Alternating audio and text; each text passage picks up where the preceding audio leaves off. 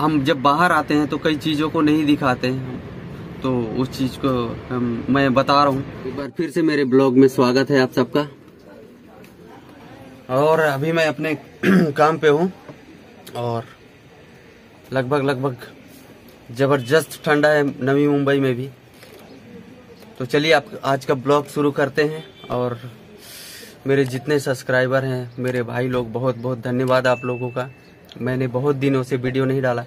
चलते हैं, अपने काम को शुरुआत करते हैं। तो मैं क्या काम करता हूँ, वो बताऊँगा और कुछ चीज़ें बताऊँगा। तो चलिए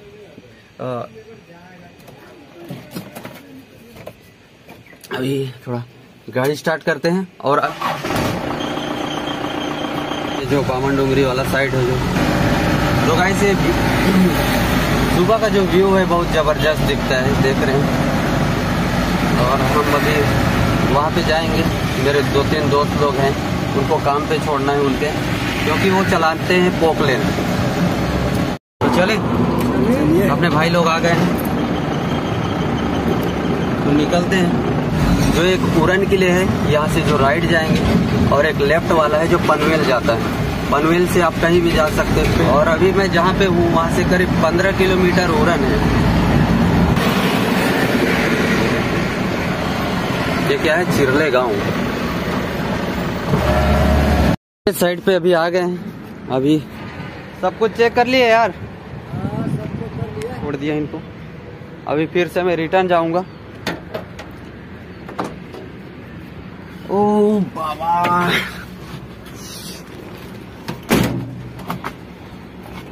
क्योंकि अभी काम वगैरह थोड़ा सा कम चल रहा है तो इनको सिर्फ़ छोड़ना पड़ता है। तो अभी मैं फिर से रिटर्न जाऊँगा वहीं पे बामन डुगरी साइड में। और जो कि अभी भाई ने वो पोकलेन साफ़ कर रहा है हमारा जो हेल्पर है तो वो साफ़ कर रहे हैं। साफ़ करने के बाद यहाँ पे काम चालू होगा। तो उन चीज़ों को थोड़ा दिखा रहा हूँ। तो कुछ चीज़ है जो सीख सीखने को मिल सकता है। तो चलिए अभी मैं इनको छोड़ दिया हूँ। तो अभी मैं जा रहा हूँ बावन डोंगरी साइड में। वहाँ से कुछ और भी काम हो सकते हैं। मुंबई सीधा ठाना सीधा पुणे, सीधा। लेकिन ओलवे के लिए लेफ़्ट तो अभी हम ओलवे वाले रोड में, दोस्त। दोस्तों, अगर मुंबई में गाड़ी चला रहे तो मुंबई, पहले तो मुंबई के ट्रैफ़िक से आप परेशान हो जाएँगे। और मुंबई के ट्रैफ़िक कितने होते हैं, और मुंबई के ट्रैफ़िक से चलना। और मैं सुबह से ही इतना बिज़ी हूँ कि मतलब रुका नहीं अभी थोड़ा खाना वगैरह खाया। उसके बाद भी मतलब थोड़ा ऐसे ऐसा काम आ रहा है कि मुझे रुकने के लिए मौका ही नहीं मिला। तो मैं कंटिन्यू अभी समझिए ड्राइव कर ही रहा, कर ही रहा हूँ। सारे ब्रिज तैयार हो रहे जो ओवर ब्रिज है। इसलिए अभी थोड़ा सा ट्रैफ़िक वगैरह हो होता है। जैसे ओवर ब्रिज तैयार हो जाएँगे, उसके बाद ट्रैफ़िक तो नहीं होना चाहिए, क्योंकि नवी मुंबई में बहुत सारे ब्रिज तैयार हुए हैं। और उसके वजह से ट्रैफ़िक से बहुत बच जाते नहीं तो जिस रोड में अभी मैं चल रहा हूँ तो बहुत राहत है कि लोग आराम से आ जा पाते हैं। और जो अभी फ़िलहाल ये रोड है जो उड़न के लिए निकल रहा है जैसा ही उड़न करल फाटा ये रोड थोड़ा जाम हो जाता है कभी कभी क्योंकि अभी फ़िलहाल ये वन वे जैसा है सिंगल रोड है।